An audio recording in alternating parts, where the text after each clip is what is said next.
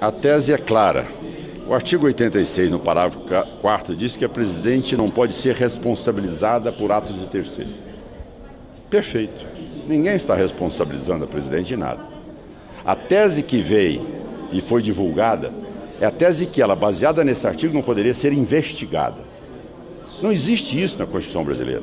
A Constituição republicana, hora alguma, ela exclui quem quer que seja da investigação. Todas as pessoas devem e podem ser investigadas principalmente agentes públicos, que têm responsabilidade sobre o patrimônio público.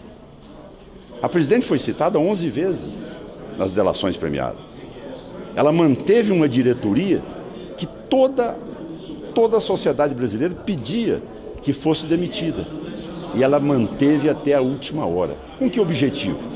Dificultar as provas, os indícios, a corrupção que foi praticada dentro da Petrobras, o repasse de verba que foi feito para as campanhas eleitorais, entre elas a dela? Então são as perguntas que ficam. Ninguém está prejulgando. Agora é inaceitável num regime democrático, num Estado democrático de direito, numa Constituição republicana como a nossa, dizer que a presidente Dilma não pode ser investigada.